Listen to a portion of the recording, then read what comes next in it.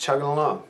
Welcome back to Vaped Reviews, Mike here, and today we're finally going to talk about the Crystal XL BDC. If you were unlucky enough to watch the first video that I posted of it, um, I kind of tore it up for gurgling, and that was my fault. Uh, I kind of skipped reading the instructions on the back, so you'll have to forgive me. I deleted the video, and I'm going to go ahead and redo it. What was happening is I was thinking that this refill line that you can't even see in the shot um, indicated how much to refill the liquid when in actuality it was telling you that your fluid was low, your e-juice or your e-liquid was low. So when it went below that line, I would get gurgling and it was really consistent every time it was below that line and I chewed this device a new one. And I felt really bad about even posting the video, but my job is to be honest and honesty kind of bit me in the ass this time because I was the one that made the mistake. So here's the new video. This tank retails for $21.99 at vapage.com. The link will be in the description. Here's a picture of the retail packaging. What's included inside is the tank and it's pre-assembled with a coil and the drip tip a beauty ring for your Ego cone threading, your Ego style batteries, or your Vapage U-turn if you own one of those, and also an extra 1.8 ohm coil. So you're set up for a while. The Crystal XL is a dual bottom coil, it's bottom fed tank, it is a polycarbonate tank, and it uses the Aspire BDC coil. I'll post a link down in the description in the description in the description I'll post a link down there this bad boy holds a ton of juice and that refill line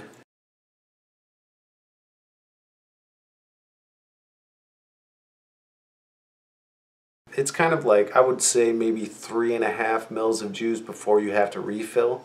So one and a half, maybe two or even more mils um, is going to be left in the tank before you start noticing a drastic decrease in performance. And by drastic, I mean insane. You're going to have gurgling, and I had a flood once it absolutely kills the performance of this tank. So it does include this plastic drip tip. I'm just going to do an on-camera breakdown of it.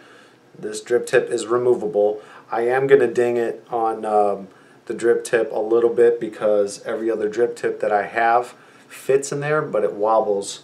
Here's the drip tip, for instance. So it fits in there, and then it just wobbles around. So you might have one in your collection that works. Mine don't. Uh, the base is removable, obviously, to fill and to replace coils. It is a knurled base, so it's a lot, uh, it's actually really easy to use. Uh, I got some vapor towel here. Mr. Basardo's term. I'm going to jack it for the moment.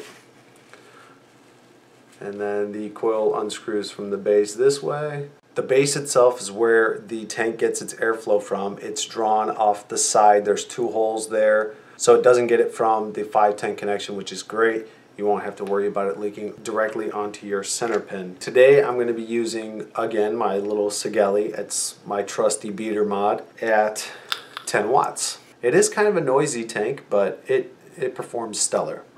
Let's just go ahead and give it a vape and see what it does.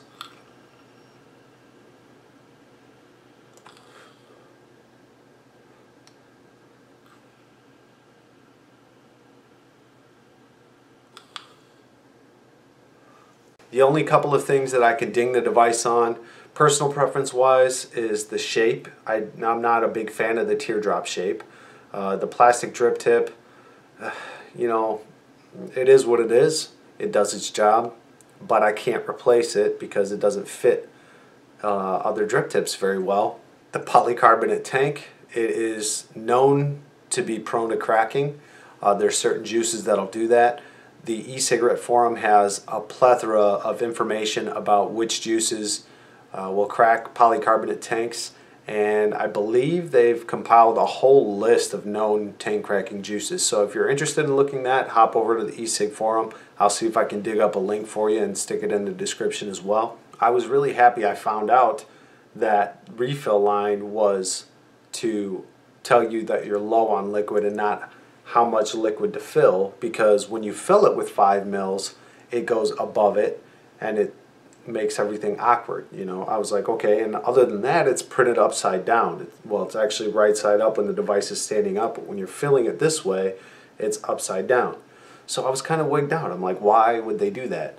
And then uh, I found on the back of the packaging that I had luckily taken a picture of before uh, that it says to refill it when it gets below that line, which makes sense to me now. It sounds stupid, but it is what it is.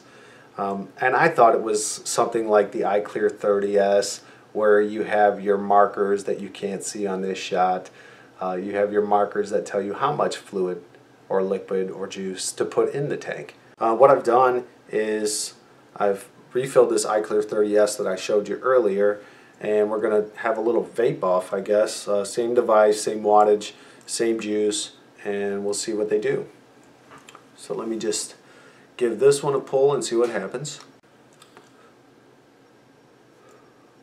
And then the iClear 30S.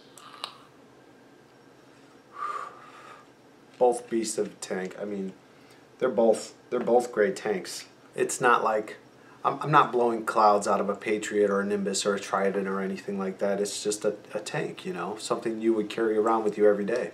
They both get really good vapor production, but the thing is, um, you'll see in the video that they're very similar uh, va vapor production wise, but the draw on this one is way tighter than the iClear 30S. It's actually almost too tight.